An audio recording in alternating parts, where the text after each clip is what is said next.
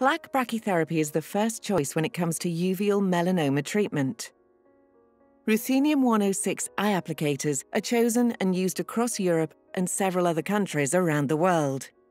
The applicator is a concave plaque with a radius of 11 to 25 millimeters and has two or three eyelets that are sutured to the sclera.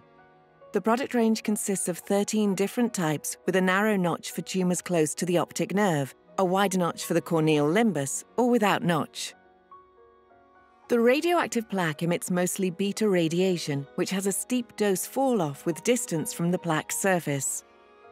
In this way, tumours up to 5 mm in thickness can be treated with a high dose while sparing sensitive structures such as the optic nerve and fovea.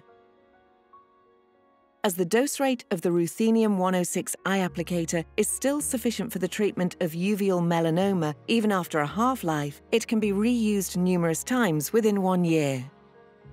A variety of surgical techniques have been developed by ocular oncologists around the world to place the applicator accurately over the intraocular tumour. This short presentation describes methods developed by Bertil Damato in England. Preoperatively, Damato plans the treatment according to five measurements. The tumour thickness, the largest basal tumour diameter the longitudinal basal tumour diameter, the tumour to fovea distance, and the tumour meridian with respect to the fovea. For the selection of the correct plaque size, the 2mm safety margin must be considered. This means, for example, that tumours up to 16mm can be treated with a 20mm applicator. The plaque to fovea distance is estimated by subtracting the safety margin from the tumour to fovea distance. The approximate limbus to plaque distance is estimated by adding the plaque to fovea distance to the plaque diameter and subtracting this number from 30. This calculation can be checked by adding the longitudinal tumour diameter to the posterior safety margin and subtracting this sum from the plaque diameter to identify the distance between the anterior tumour margin and the anterior plaque edge. If all measurements and estimates are correct, both methods should identify the same point on the sclera, marking where the anterior edge of the plaque should be. During the operation, a 180 degree conjunctival peritomy is made.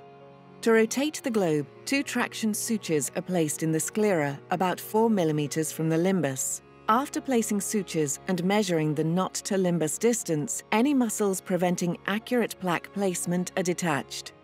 The inferior oblique muscle is only detached if it overlies the tumour. However, the superior oblique muscle is left in place because it is thin. The tumour is localised by transpupillary or transocular transillumination, and its margins are marked on the sclera with a pen. According to preoperative measurements and estimates, an ink mark is also made on the sclera at the intended location of the anterior plaque edge. If a Damato template is available, forceps or calipers with pointed tips are used to mark the entry and exit points of each suture, so the template which is corresponding to the selected radioactive applicator can be sutured to the sclera with releasable bows. Now the surgeon slides the right-angled transilluminator down a groove until it clicks into a perforation, then performs binocular indirect ophthalmoscopy to elicit the sunset sign, while assessing the distance between the light spot and the tumour margin, ensuring that the tumour, including safety margin, is completely covered by the template. If the template is not perfectly positioned, it can be adjusted using the transilluminator as a hook and a new ink mark is made on the sclera. A mattress suture is placed and left loose. Now the template is replaced with the radioactive applicator, taking great care not to damage the delicate concave surface of the plaque. If a biopsy is performed, it is done after removing the template. The sutures are tied. If a Damato template is not available, the plaque position can be checked by ultrasonography or indenting the globe with the posterior edge of the plaque while performing binocular indirect ophthalmoscopy. Any detached muscles are sutured back in place, ensuring that the knot to limbus distance is the same as before. If the plaque overlies the muscle insertion, it is attached to the sclera with slings or to the mattress suture. Finally, the conjunctiva is closed, ensuring that the sclera is completely covered. In summary, the following key steps are important.